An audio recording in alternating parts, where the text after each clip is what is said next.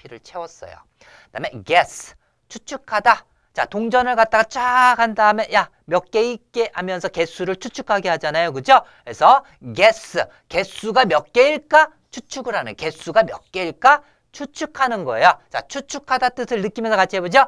guess, guess, 추측하다. 자, 믹스, 믹서기에다 놓고 막 갈잖아요. 믹서기라고 하는 것은 ER이 붙으면 어떤 사람이나 사물을 뜻한다 그래서 그래서 갈아주는 사물이란 뜻이에요. 갈아주는 게 바로 믹서기예요. 그래서 믹스는 섞다, 혼합하다라는 뜻이에요. 같이 해보죠. 믹스, 믹스, 섞다, 혼합하다. 자, hell, 자, hell 역시 L 발음 주의하면서 딱 붙여주면서 hell.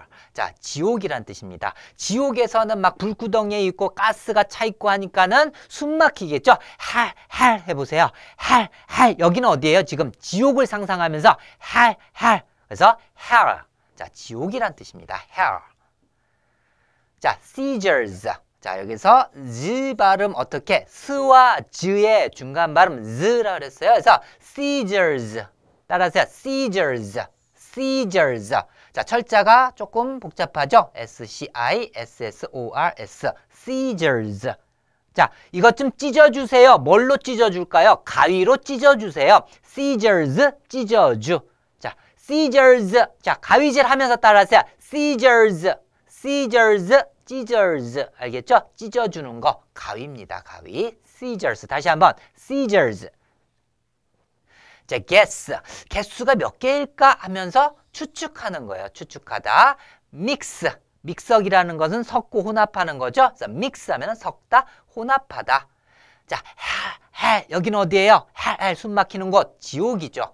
그 다음에 seizures. 찢어주. 찢어주는 거. 가위였어요.